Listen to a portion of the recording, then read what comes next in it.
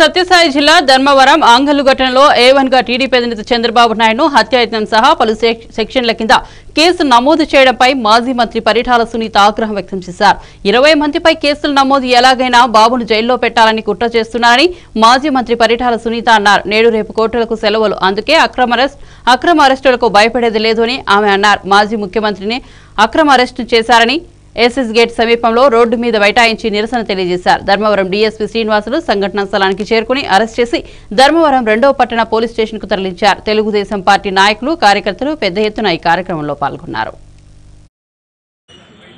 జగన్ రెడ్డి లండన్లో కూర్చొని ఇక్కడ ఉండే వాళ్ళందరికీ కూడా మాట్లాడి ఎవరైతే ఉన్నారో వాళ్ళ పెద్దలందరితో కూడా మాట్లాడి డీజీపీతో మొదలుకొని సజ్జల గారు సజ్జల గారితో అయితేమి ఇంకా చాలామందితో కూడా మాట్లాడి మా నాయకుడు చంద్రబాబు నాయుడు గారిని తెల్లారితో టారిస్ చేసి మీరందరూ కూడా చూసే ఉంటారు.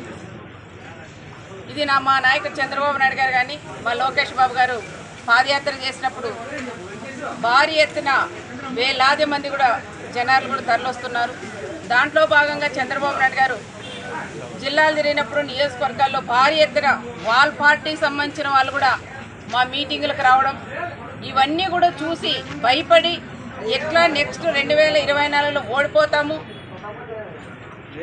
మా వైఎస్ఆర్ పార్టీ రాదు అని దీని గురించి ఆలోచన చేసే ఒక్క రోజన్నా నేను పదహారు నెలలు నేను జైలు పోయినాను.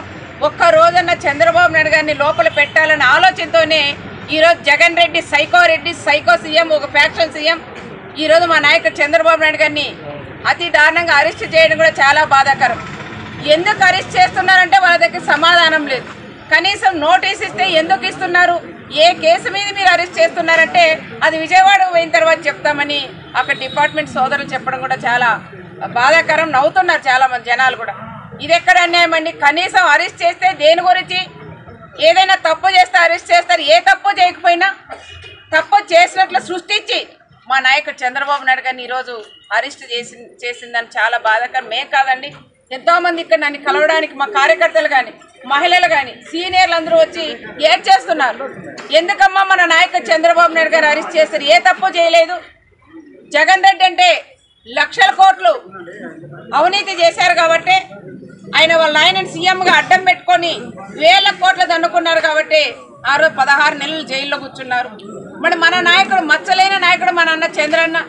మరి మన నాయకుడి మీద ఈ విధంగా ఇంత దారుణంగా ఇంత జనాలు వస్తుంటే చూసి ఓర్వలేక. కూడా చెప్తున్నాం సార్కి ఎప్పుడు కూడా ప్రతి ఒక్కరు కూడా కార్యకర్తలే కాదండి ఐదు కోట్ల జనాలు ప్రజలు. ఆంధ్రలు కానీ ఎక్కడైతే ఆంధ్రలు ఉన్నారో తెలుగు వాళ్ళు ఉన్నారో